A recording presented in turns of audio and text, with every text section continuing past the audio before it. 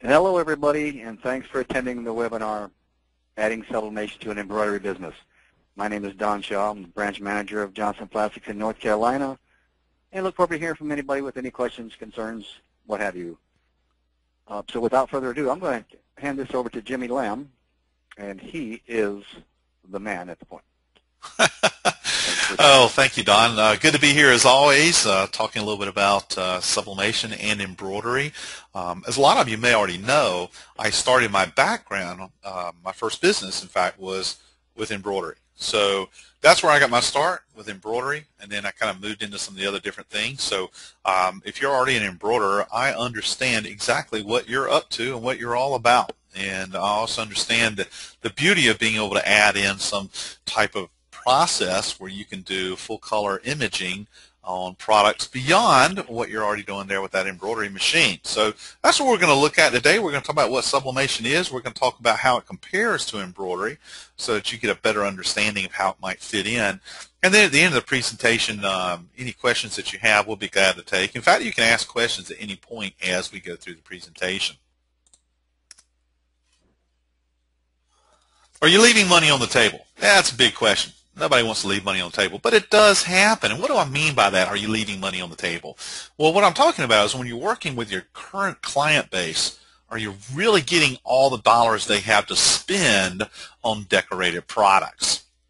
Now, chances are you're not if you're an embroiderer because with embroidery, you're typically doing designs on the left chest of polo shirts. You may do a little bit of full front here and there, an occasional jacket back, and you're probably doing a lot of headwear.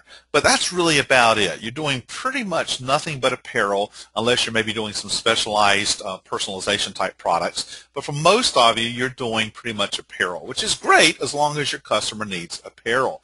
But the reality is your customers are buying a lot more. They're buying award products, promotional products, they're buying signage, um, a lot of different unique things, but you're not able to fulfill those needs because you don't have the equipment to be able to deliver. Now, one of the things I found as an embroiderer was I had a pretty good business as an embroiderer, but um, I really felt like I needed at least two forms of decoration uh, more and more you need to be able to expand out what you're doing away from that core so that you can capture more of those dollars coming in the door. Uh, you hate for your customer to walk away from your shop and go to someone else's shop to get something that they're willing to spend money on that you couldn't deliver. Okay, so that's what we start talking about here. Why would we add sublimation? Because it gives you diversification. And that diversification allows you to capture more of the dollars that your clients have to spend. Now, for example, if you're an embroiderer and you're doing things for schools and sports, you're probably doing some of the things similar to what you see on the screen. You're probably doing some staff shirts, maybe school uniforms, spirit wear, those types of things. Pretty much all apparel products. But if you were to add in sublimation, you could go way beyond apparel. In fact, with sublimation, you can still do apparel but you can go beyond apparel and start doing some of these other types of things, such as awards and plaques. And you know there's a lot of awards that go in with the school system, especially in the upper classes. Um, when we start talking about sports awards, academic awards, those types of things. Uh, all kinds of fundraising items, spirit products make great fundraising items. Uh, ID products, signage, all kinds of different things that you can do with that sublimation system. Now, if you're an embroiderer, you're probably doing some corporate and small biz. Again, what are you doing? Pretty much all apparel. And that's good because the corporate world buys a lot of embroidered apparel. But the reality is, if you added sublimation in addition to that embroidered apparel, suddenly you would be able to do a whole lot of other different products, especially things like promotional products. Again, plaques and awards, just like with the schools, a lot of plaques and awards are handed out in the corporate world. And then even signage, something we don't always think about, but with sublimation we can do signage as well. Now, perhaps your main area of business as an embroiderer is gifts and personalization and you can do all kinds of neat things. You can do some of the monogramming. You know, things like the baby's blankets are very popular items. Um, I've done a lot of retail personalization with embroidery. And did a lot of the mom's gang type of products. So yes, there's a lot of things out there with some pretty decent margins that we can do with embroidery. But if you add sublimation, what else does it add to your repertoire of items. We'll take a look here. All kinds of neat products where we can put not only custom messages, but we can put full color photographic images. And that takes it to a whole nother level uh, because when you add a picture to something, that's the ultimate form of personalization and therefore it helps to drive the margin up. And we're going to talk about the margins that you can achieve with sublimation uh, a little bit further down in the presentation. We'll look at a comparison of what it costs to do embroidery versus what it costs to do sublimation where you can see that type of margin difference. But just taking a wide look here at all these different types of things, you can see we have a lot of opportunity in the personalization marketplace. Let me tell you, if you look at, for example, up here, the iPhone cover, some of the most popular items today in the world of personalization and sublimation are the mobile device covers. Um, iPhone covers, Galaxy covers, a couple of different brands. These typical um, margins here are unbelievable. I mean, okay, we're not talking about 100%, 200%. We're talking about much higher levels, you know. And let me give you an example of exactly what I'm talking about here. If we took this particular cover here with a football player, our total investment in that for the blank product, the ink, the paper, the time, the labor, the overhead is around $5. Okay, all said and done takes about $5 to produce, and the actual production time is two to three minutes, not including the artwork. In a case like this, we're simply taking a photograph and adding some lettering, so we're only talking about a couple of minutes worth of artwork anyway. $5 is our total cost to be able to produce this. And in fact, some of these have a lower price point, and you can do it for less than that. The national average retail price on personalized mobile device covers for cell phones is 30 to $35. So in about a three-minute time span, you're able to produce something that costs you five that you could sell for 35. You got a $30 margin, and that is just the tip of the iceberg. Okay, um, putting the picture on there makes all the difference in the world. And that's really what I'm getting at here. Sublimation allows us to put pictures. When we're doing pictures and doing that custom personalization, we're able to drive the perceived value up and get a really nice margin out of it. And that's the whole point. Most of the things you'll see in the personalization world uh, with sublimation have someone's picture because that enhances the value but does not increase the cost of production. Okay, so sublimation can definitely make a difference in your embroidery business. It becomes a nice enhancement. It certainly does not replace embroidery in any way. It just helps enhance what you're already doing. So you can diversify out a little bit. Uh, if you have an embroidery machine here over on the left, you can see you're pretty self-contained. What do you need to do sublimation? Well, chances are you already have a computer because you're going to need that on that embroidery equipment. But with sublimation, you're going to have to add a heat press if you don't have one already, and you're going to need a sublimation printer. Now, the sublimation printers are not these $25,000 um, machines like you see with direct-to-garment printing. In the case of sublimation printing, uh, the startup desktop units are really just standard office-style inkjet printers that are equipped with sublimation dyes in cartridges that you just plug them in just like your regular ink uh, and a software driver to help you manage the images as they go through the system. So you're talking about somewhere probably in the range of 550 to 575 okay? Let me repeat that. 550 is in 550 to 575 dollars for a printer a desktop style printer capable of doing sublimation. Uh, not bad okay not a bad price there and of course, you'll need a heat press if you don't have it already, but you're not going to be buying anything like digitizing software. We don't have specialized sublimation software. Uh, we typically depend on things like Corel Draw and Photoshop and Illustrator, which you probably already have one of those three if you're uh, an embroiderer. So very low investment to get into this, but a very high return on all the different things that you can produce with your products. Okay? So embroidery limitations. I know this all too well. Okay, I've run many machines, multi-heads, single heads, uh, in many different environments. And let me tell you, uh, I understand the embroidery limitations quite well. Fabric texture, for example, can affect sewing quality. You must be able to hoop or frame the garment. If you can't get in a hoop or a frame, it's not going on the machine. Uh, and, you know, that means that we run into some things that kind of get in the way sometimes. The needle has to completely penetrate the fabric. In other words, it has to go through and come back out. Uh, try to do that with a pocket. We sew the pocket shut. Lengthy setup process between artwork and digitizing. Typically limited to small designs. We're doing left chest and cap mostly. The colors are limited to the number of the needles on the machine. Oh yeah, sure. If you got a 15 needle machine, you can run an 18 color design. You just got to rethread it a whole lot during the run. It's not something you want to do. Been there, done that. Fine details in small letters are difficult, if not impossible, to produce. Charges are generally calculated based on stitches in the design. By the way, we're not going to go there in this um, presentation, but stitch count pricing is not accurate whatsoever. Um, I have much better ways that I teach that uh, will help you do embroidery pricing the right way. Okay, sublimation characteristics, very low startup costs. As I was saying just a minute ago, um, if you already had the heat press, then all you need is a printer and you can get into a startup system. Don can tell us a little bit more about costs here at the end. Probably around 550 to $575. Uh, neat thing about sublimation is it will not fade when laundered.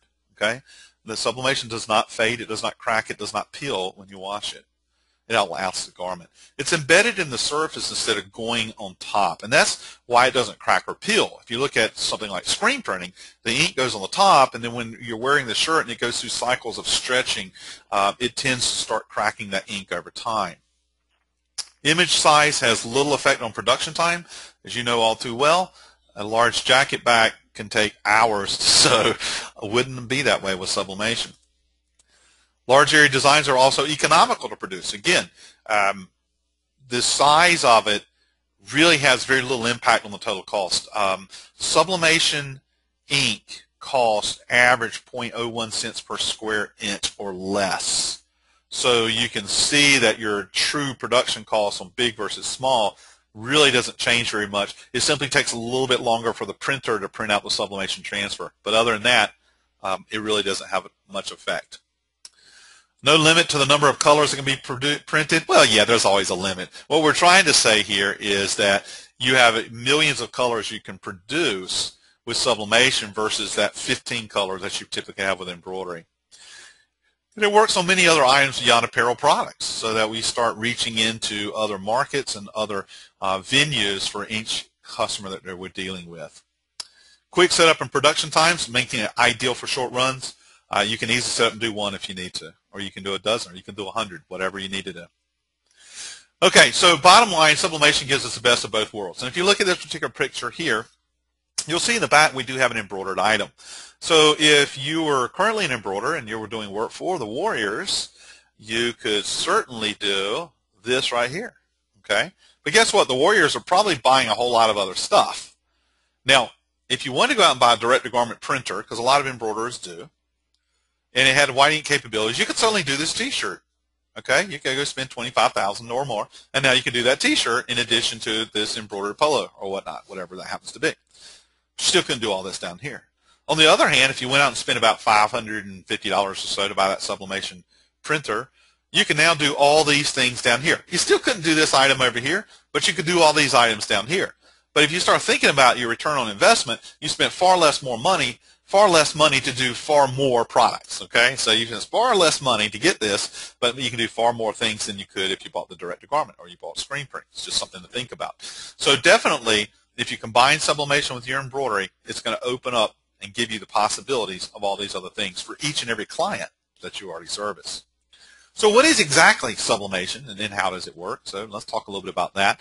You know, sublimation sometimes is one of those sort of mysterious things you hear about it at shows and things, but you're not quite sure what it is. Well, it's definitely a digital printing process, but it really fits into its own world because sublimation is all about chemistry rather than just about printing. When you look at printing systems like direct-to-garment printing, you're applying ink onto the surface of something. Same thing with screen printing. Um, if you add ink to the surface, then you have to be careful about does it bond to the surface properly? Uh, if the surface is shifting, in the, in the case of apparel, is it affecting how the stability of the print that's been added on there? Um, when we start talking about sublimation, though it looks the same, okay, because it looks like we're putting, you know, basically ink onto something, uh, we're actually using a dye process. And on a dye, we're, we're trying to recolor the fibers from the inside out.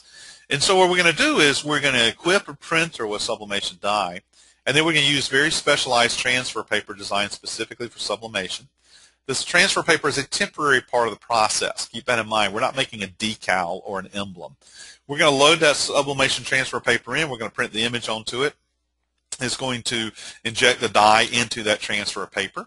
Next, we're going to take that transfer paper and we're going to go to the, whatever the product is, hard or soft, and we're going to go to our heat press and we're going to set it up for uh, 400 degrees Fahrenheit for most items, slightly lower for apparel. We're going to lay the garment down and we're going to put the transfer down on top of it, or in the case of a plaque or anything else, same basic thing. We're going to mate the transfer paper that has the image with the surface of where we want the image to go. Then we're going to close down that heat press and using that combination of time, temperature, and pressure, we're going to start the sublimation process. Now, two unique things are going to happen here. Number one, the sublimation dye turns into a gas. Makes it very unique, okay? The sublimation turns into a gas. And that gas is going to leave that transfer paper. Okay, it's contained in the transfer paper, the sublimation dye, but once we turn it into a gas, it's going to leave that transfer paper, and it's going to go over and penetrate into the surface of the item we're decorating. Now, the item that we're decorating has to be either polyester or polymer based. It's very important because sublimation dye will only bond with polymers and polyesters, and it bonds at a subsurface level because it's actually going to penetrate into these um, polymers and polyesters. Now, how does it do that? Well, the polyester is composed of fibers, and the polymers are composed of cells. In either case, at that 400 degree temperature, those cells will open up. Cells or fibers will open up.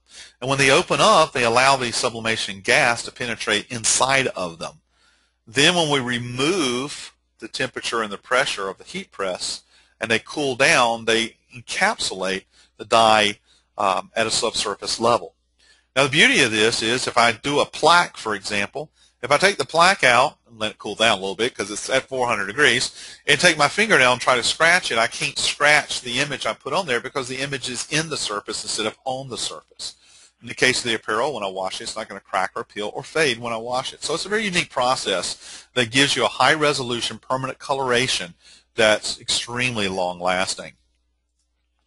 Now, as I said, the polymer connection has to be polymer or polyester based, which sounds very limiting, I know. But when you take a look at the things that like Johnson Plastics has to offer, you need to go online if you haven't looked already. You need to check out their catalog of products. And you're going to see they offer literally hundreds of different products that are designed for sublimation. There are wood products, metal products, um, acrylic products. Uh, there's a long list of different types and in each case, they're either um, a natural polymer-based item, say like flip-flops, or they've had a polymer coating applied to it using a very precise uh, computer-controlled uh, production process to make that happen. Okay, so ultimately, what you're doing is you're buying products that have professional coatings applied to them to allow sublimation to take place. And again, if you check out everything that's on the Johnson Plastics website, you'll be you know surprised at all the different things. Like they got like fishing lures, one of my favorites, fishing lures, cool stuff. Okay, now one of the neat things about sublimation that sometimes doesn't get the press that it should is that we have the ability to do basically um, high definition photography on any appropriate surface, meaning that that surface does have a polymer coating. And that gives us a lot of possibilities. Now, a lot of times we start thinking about, okay, well, I'm not really in the business of putting pictures on stuff. Maybe you are, maybe you aren't. Maybe you just don't know it yet. Uh, the reality is when you start talking about award products, for example, being able to put a live picture of someone on there as opposed to just text increases the perceived value of what you're doing. So we can actually enhance the value of things when we start adding photographs in. You'll see some things as we go through that are more than just photographic images applied to the surface. Okay, But it certainly also opens up the path if we want to go into the photo industry, we can. There's a lot of money to be made in professional photography and putting um, high image professional photos onto different products. And then finally, when we talk about apparel, the key to remember here is it only works with polyester. It does not work with cotton. So if you're going to decorate apparel, it has to be polyester based.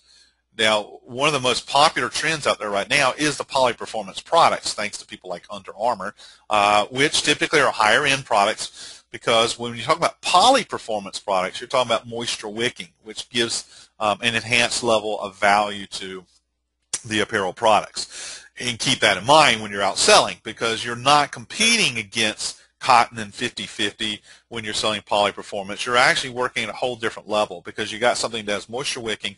When you sublimate, it will not fade, crack, or peel when washed, and it's going to outlast any type of cotton-based shirt. Can you do blends? Yes, you can do blends. When you do a blend with sublimation, it's only going to bond to the poly aspect of the blend. Therefore, what you end up with is a design that looks somewhat faded or washed out. Well, we call that retro because as soon as we use a word like retro, we um, increase the perception of value of the shirts. We can charge more for it, though it didn't cost you any more to produce it. Um, so just a couple things to think about, but the, the world of poly performance is vastly expanding, and we have a much wider range of products for sublimation than we ever did before. So how does the sublimation process work? So let me just walk you step through step how it works so you'll understand it, okay?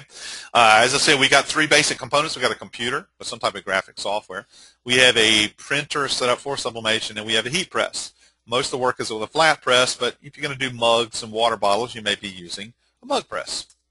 So your first step is you're going to set up your artwork, again, using your standard graphics programs like Corel and Photoshop, Illustrator, that type of thing. Um, one of the things that we do with sublimation that's a little different from embroidery is we do what we call full bleed, meaning we completely cover the surface from edge to edge. So therefore, if I was going to do like a coaster, and that's the example on the screen, if I was going to do a coaster, I need my artwork to cover completely from one edge to the other of the coaster. Now, looking at this coaster, you notice the coaster is round, you notice the artwork is what? Square. Okay, all of our artwork just seems to be square, rectangular. How do we make that fit the coaster? Well, most of the manufacturers of the different blank products have put together templates that can be downloaded and in many, many cases used in your graphic software. In this case, I have, I'm working in CorelDRAW and I downloaded a CDR file for this exact coaster and I'm going to use the power clip function. I'm basically going to group the artwork and the template together, use power clip, and then what did it do is it cropped it to fit the exact boundaries of the template. Now on this particular template you see there's blue and there's green and this is common from uh, many of the templates. The blue represents the actual true size of the coaster and the green is the suggested extra coverage or extra bleed. We normally make our artwork slightly larger than the item we're putting it on, so if there's any shifting around when we're setting it up, we have a little bit of a margin for error. Okay, uh, In Photoshop, you can just use the layers function. Either way, it's quick and easy to set that up. Then we're going to print it out, and when we print it out, we're printing through our printer to our sublimation transfer paper the idea is to put as many pieces on there together as you can. Okay, you want to maximize the use of the paper. Uh, you can see that the artwork, yes, see it's slightly larger than coaster, so it gives us a little bit of room for lining up the coaster. We normally use a little piece of heat tape to hold it in place so that we have the coasters held up against the transfer paper as we carry it over to the heat press. Then once we get over to the heat press, we're going to place it in there. And these will be 400 degrees for one minute with a medium pressure. And that will then allow the sublimation process to take place. And that's not one minute per coaster. That's one minute for the entire batch. Okay, It didn't matter if I'm doing four coasters or one coaster. It's still just one minute uh, time for that. End result here was I got four coasters. Uh, when we take it out of the heat press, it is hot but we have to peel the paper when it's hot too. So you do have to rapidly peel that off. But really, it only took me about two to three minutes to do this. Pretty quick and easy, and I already have four of those. Now you can buy larger printers. I mean, you know, I was showing you there one of the smaller printers. You can get larger printers so you can get more production. So maybe you're printing out uh, a dozen coasters on a sheet of paper. You use a little bit bigger paper, a little bit bigger printer, and put it in the heat press, and you're doing a dozen at a time. Okay, you can get a lot of good production numbers depending on the size of your equipment kind of like having single heads and multi-heads. Okay, some of the production variables. We all know there's a lot of production variables with embroidery. What are the production um, variables that we have with sublimation? Okay, with sublimation, it's time, temperature, and pressure. Now, most of the items that we do are one minute at 400 degrees with a medium pressure. Don't worry about the 40 psi. We're just talking about a medium pressure. But definitely some items will have some variances, mostly in time and pressure. Uh, we stick with 400 degrees on most things. A few variances like apparel. Uh, so think of it kind of like thread tension, machine speed, needle selection. Okay, we have to make some tweaks when we go with some of the different products, but for the most part, those are our standard settings. Now heat drives the process and not all heat um, presses are exactly the same.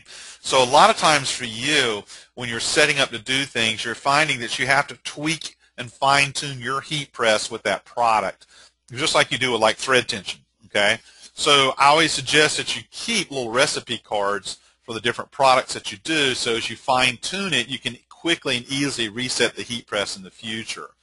That's just something to learn as you go. Color management. This is new to embroiders, okay? Now, you may have already encountered this, and that is what you see is not always what you get. You set up something on the screen. When you go to print it out of your printer, it doesn't look exactly the same, okay? Well, there's a lot of reasons for this, um, but you really have to work with this more with digital printing processes like sublimation than you ever would with embroidery. Because think about embroidery. I'm taking a cone of thread, and if I'm holding a cone of red thread in my hand and looking at it, that's what color it is. That's what color it's going to be when I put it on something. But when we're using a digital printer um, to do things, a digital printer is actually creating the color at the printer. So most of our sublimation printers are four-color printers. They have cyan, yellow, magenta, and black ink. And we're combining the cyan, yellow, and magenta inks to be able to create whatever colors that we need.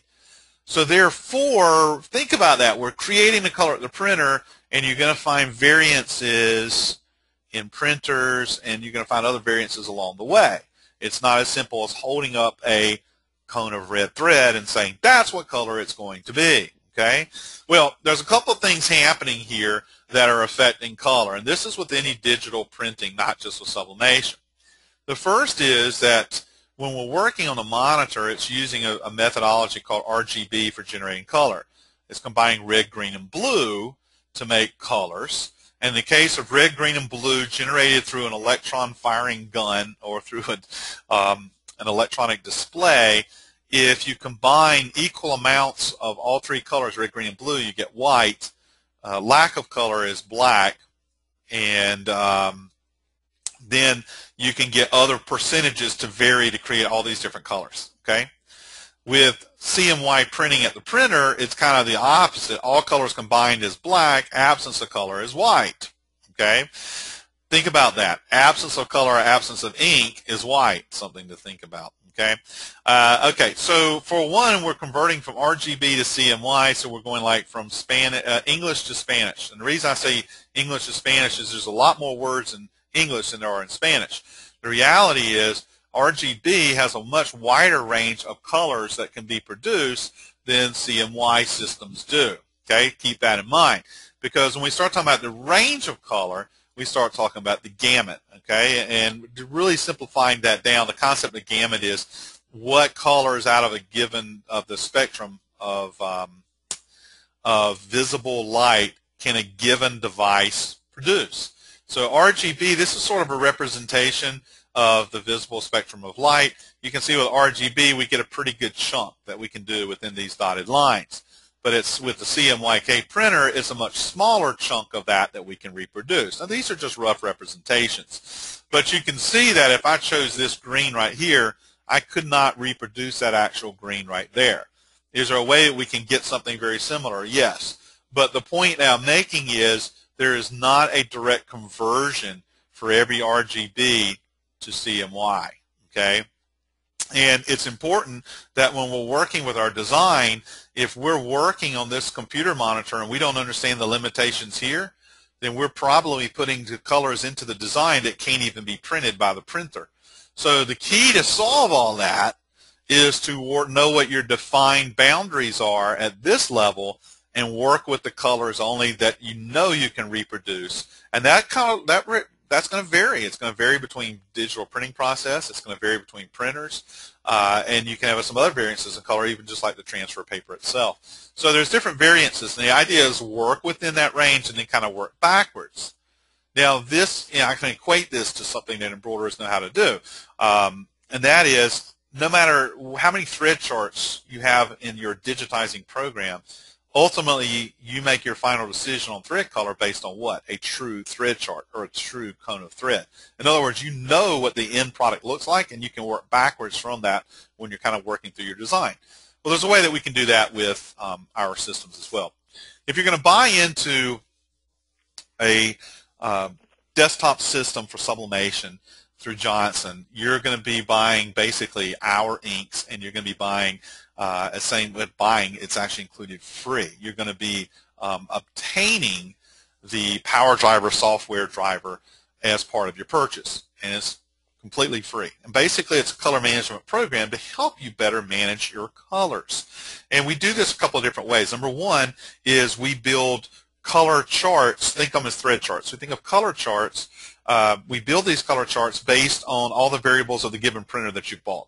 Okay, taking into account the ink, the printer, and everything else. Now we now have an electronic version of that particular chart with colors, a basic set of colors that we know that you can print with your system. And we recommend then that you upload that palette of color that we created for you into your graphics program. So we've built uh, color palettes that can be uploaded into CorelDRAW, Photoshop, and Illustrator. So if you upload that chart in, you can see this was actually CorelDRAW.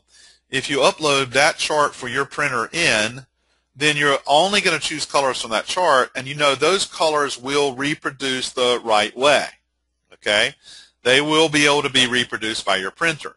Now, you still can't trust what you see on the screen, unfortunately. So the way that we help you figure that part out is we tell you take your color chart and go ahead and print the whole chart. You can see an example of it here, a chart.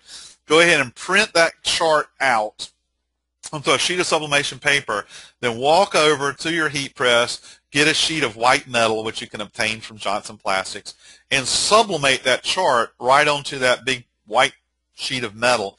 And then when you take it off the press, pull the paper off, you can see exactly what the color is going to look like when you go to sublimate it. So now you actually have a color chart. You have a thread chart. Think of it as that. You got a thread chart with this nice piece of white metal that shows you that basic palette of color, and all those colors have names so that you can look at it on the chart and say, okay, this is the red I need. Then you go to the screen and choose the same red out of that palette that you upload into your graphics program. And even if it looks a little wrong on the screen, you know what it's going to look like because you have that end result of what it's going to look like. It's also worth mentioning, if you're new to sublimation, that when the sublimation transfer comes out of the printer, the colors are kind of dull and muted. They don't really come to life until you run it through the heat press. So that's just something else to keep in mind as you go. Anyway, when you get ready to buy your system, you know, we and Johnson both can help you um, get you set up with your PowerDriver and your color features and, you know, help you through that, okay? Have all that stuff in place. There you go. There's an example of the color palette. You can see it's got little names and everything. Think of it as your thread chart.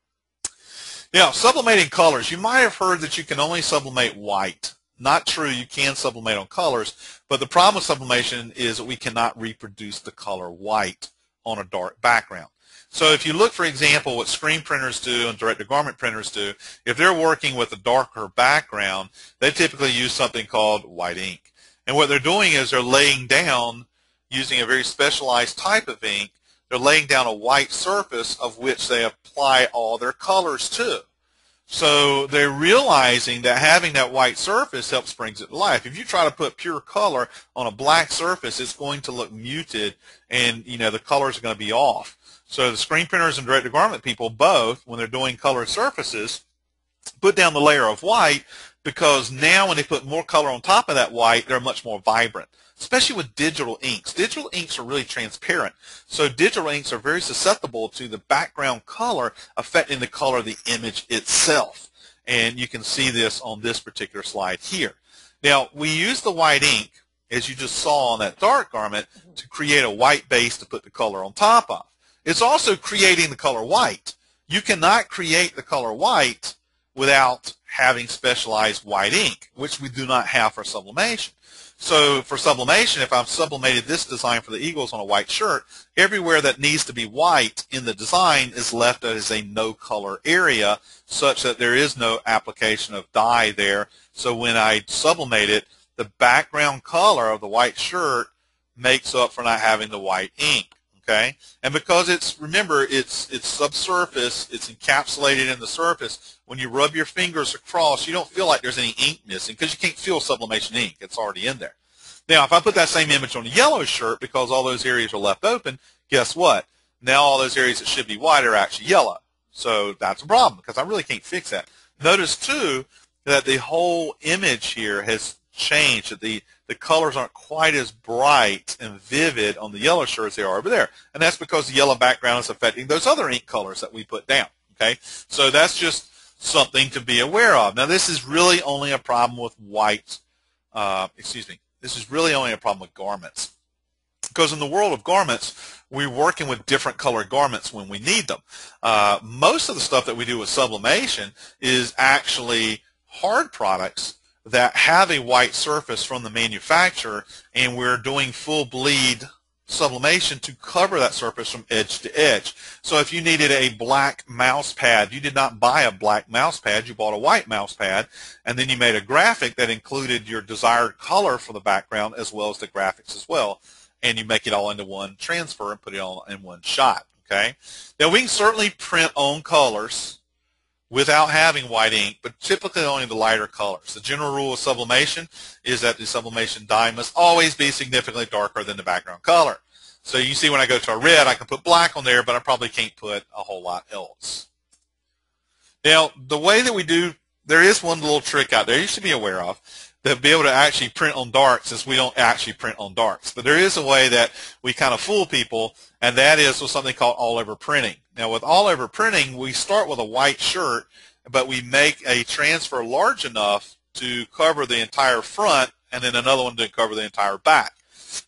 And we can do finished shirts if they're T-shirts. In this case, the ones on the screen happen to be they use some cut and sew process because they got things like collars and whatever else. But you see this shirt right here was white. See, that's what it's opened at the bottom. It was white. We didn't have white ink, but what we did was we recolored the shirt to be the color of the shirt we wanted plus all the graphics and left all the white areas open. Okay, That's how we get away with it. There's no white ink there. And we didn't really print on a dark. We printed on a white. Um, so just to be aware of that because there are people that you can contract that out to. But as I was saying, if I'm working with most of the things that are non-apparel in the world of sublimation, they are white from one edge to the other. And then we do that full bleed. Here we're going to do a photo panel, and you can see that I started with a white photo panel, but when I put the wolf on here, everywhere that's white is kind of left open. But again, the ink is in the surface, so you rub your fingers over it, you can't tell that there's no ink there, that that's just the white of the surface, and we still get what we're looking for. So what does it all cost? Well, not bad. As I mentioned earlier, uh, probably 550 to 575 is your, your basic printer setup kit. Now, I you see I ranged it up to 2500 here. Um, you know, your final cost depends on what size printer did you buy and what, what heat press did you buy. And I always recommend buying the best possible heat press you can.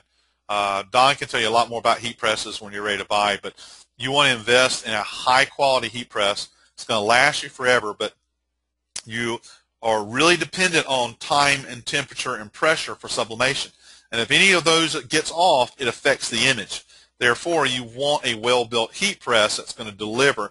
Um, you know, a lot of times you get by with a cheap heat press when you're doing some of the bling and things like that because you're just dealing with adhesives. But here we're dealing with chemistry and a molecular bonding process, and we've got to have consistent time, temperature, and pressure. Therefore, buy a good heat press. The heat press will be the most expensive part of the proposition, but you're buying something that lasts practically forever, so it's a good investment. Still a lot cheaper than that embroidery machine. Sublimation imaging cost, if you see, um, you'll see some things on our website, and you may hear me talking. Um, this is a test image that we use, so every time that we've we do our testing out there, we use this particular image here from Great Dane Graphics, the Surf's Up. And just as a representation, that 8 inch by 10 inch average is about 50 cents in cost uh, for ink and, paper and can print in under 30 seconds. Okay, And it'll vary a little bit in cost depending on the printer that we're using. But really, think about that. 8 inch by 10 inch full coverage, 50 cents in cost, 30 seconds. How long is that going to take for your embroidery machine? Okay. And once we add in the heat press, we're talking about two minutes here, okay? But still, compare that to the embroidery machine. We can do big images quick, okay? That's pretty cool. All right, so let's look at some uh, cost examples here. Uh, let's say that we're going to put that 3-inch by 5-inch logo that you see there on the bag. Now, in the case of a poly bag, because it has to be poly for sublimation, okay? So you can do a nice canvas bag for embroidery. We can't do that in sublimation. It has to be poly, okay? All right, so um, in a comparison of material costs, you're going to find that the embroidery is slightly cheaper on material costs, okay? And that's about the only place it's going to be cheaper. If you go through and look at the numbers real quick here, um, you know, it works out to about $2.36 for your total material cost for embroidery. Material costs only. Doesn't include production time, labor, any of that. Okay, we're just talking about just pure material cost. And for sublimation, it was about $2.90. Okay. But now let's go and put it to, to the test. Okay, we're going to put it into uh, true production. Okay, and this is where we start seeing the big difference. And I have a single head, a six head, and a sublimation for comparison purposes. So we don't really have to hoop with sublimation, but while you're hooping for embroidery with sublimation, we're printing it out. Okay. Uh, then once you hoop it, you have to go install it on the machine. You know, there's things you got to set the machine, the color sequences, and all that other kind of stuff. Okay. By the same token, with sublimation, once we print it out, we have to mate the transfer up with the product, go put it on the heat press. So I'll put about one minute for that. Uh, then during your sewing time, the sewing time for embroidery uh, is equivalent to the pressing time for sublimation. And then there's some finishing because typically you have to clip off those extra little threads and you got to cut your backing off. So I put the finishing time in there too. Okay, so total time for that bag is, with that particular design, is probably about 14 minutes on the single head, 21 minutes on the six head, but I got in 21 minutes, I got six pieces, and three minutes for sublimation. So your total pieces per hour is going to work out to, you can see, 4, 18, and 20. Your overhead and there's a lot of things that will go into overhead. Okay, so this number is just basic at best. Though when I put this together, I put together some realistic scenarios. Uh, I came out to $35 in overhead uh, per hour for the single head, 41 for the six, 34 for sublimation. Uh, when you look at your total cost per piece, um, and work this through, because see, cost per piece is based on how many pieces I can do per hour against my overhead. Keep that in mind. It wasn't from the previous page. That was how many pieces per hour am I putting out against my hourly overhead. Uh, you can see sublimation was much cheaper because I'm putting them out faster and I have um, a little bit less you know, investment in cost. Uh, finally, it works down to, let's say we're going to sell it for $20 retail. Here you can see what the profit level or the margin, we might, maybe we don't use profit, we'll say margin, um, selling it at a $20 retail, you can see there's a big difference between the sublimation and the single head. If you want to look at your ROI of what your payback is, your payback's 150 bags for sublimation. It's 1,300 bags for single head, and it's 3,200 bags for the six head. Okay, so you know that's just kind of gives you an example, and that's where sublimation really zooms past embroidery is when we start talking about time. Okay, so here go a couple of representations of that. A 3 by 5 image with embroidery is about 7,500 stitches. takes you about 10 minutes to run it. And sublimation is going to be 3 minutes because we don't really care too much about size. Uh, an 8 by 10 will take 25 minutes for embroidery. It's still 3 minutes for sublimation. A 12 by 18 could be 60 minutes for embroidery. Maybe 4 minutes on sublimation because printing took a little bit longer. So you can see where, you know, time-wise, bigger doesn't really affect us all that much with sublimation. Uh, when you start looking at color management, I mean, how do you do it and, and how do you control it? Uh, with embroidery, you typically have about 15 colors, and that's it. With sublimation, we have thousands of colors. Your color selection is controlled by the thread. We can we can create the color using software, and your color control is selection of thread, actually getting it and sticking on the machine. In our case, we're using software to, you know, again, manage all that. Color range and inventory. Oh, this killed me when I went to my first six head. Oh my gosh. You know, we, we used to keep about a hundred standard colors of thread on hand. So you can see, you can do the math. That's a lot, right? Uh, when we went from a single head to a six head, I had to really invest a lot in inventory. So I don't know how much that cost. Okay. But you can start seeing with sublimation, a four color system, and if your cartridges were $110 each, your four color system would give you the ability to do thousands of colors. Uh, just to do 100 colors on a six head will cost you 4,800 bucks or 800 bucks on a single head. So, you know, the neat thing about digital is we're creating the color rather than just selecting a color that's predefined. Okay, our conclusion on all this is you can expand your markets on a budget. I mean, that's the nice thing about sublimation. It's very low cost compared to embroidery to get into it. And then it gives you a tremendous amount of different things coming out on the other end. And you can go to every single customer you have immediately and start selling them more stuff than what they normally buy. You know, and that's the beauty is you're not starting a business from scratch. You're just simply expanding what you're going to offer to every given customer that you have. Okay, so sublimation fits in very nicely that way. And where do you learn more? You learn more from the Johnson Plastics website. Uh, you can go to dyesublimation.com or you can go to johnsonplastics.com to get started. But in there, you're going to find a tremendous amount of resources, equipment, supplies, videos. I mean, all those kinds of things that help you out. And then you got great people like Don Shaw who really know sublimation. They're specialists in this, and they can help you figure out what it is you need to get your job done the right way. So with that said, I'm going to bring Don back in um, and let him tell you a little bit more about, you know, what all Johnson can do for you. And then if you have questions, it's a great time to ask them. Don, you with us? Thanks. What, there you yeah, are. Yeah, yeah, wow, Jimmy, what a session. Thank you. Thanks a lot. You're welcome. Uh, and thanks so, I said thanks a lot. And thanks to everybody that attended the uh, the webinar today. Um, hopefully one day I'll see you down the road at a trade show. Uh, I'm going to forward everybody in-column pricing today. That way you can get into there and maybe get some product that you may not have uh, thought about getting. Uh, try a few of them, one for display and one for testing. But um, yeah, the resource uh, library that we that we have at Johnson Plastics at dyesublimation.com for all your templates, all your pressure, temperature, and times in the products. What a resource! Thanks again.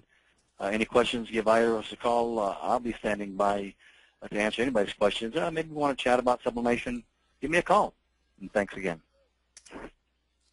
Here you go. I'll put our email addresses up so that if you do want to follow up, you can. Okay. Well, I'm not seeing any questions here today, so I think we'll go ahead and ramp the session up. Don, again, I, I, I enjoy being here, so I appreciate you guys, you know, inviting me out. And uh, I'll turn it over to you to say goodbye to everybody, and I'll catch you next time. You're the best, Jimmy. Thanks so much. And everybody, once again, give us a call if we can help. Thanks so much. Bye-bye.